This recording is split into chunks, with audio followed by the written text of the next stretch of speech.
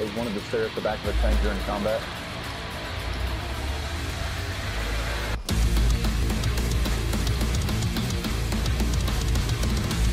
Oh, you're dead.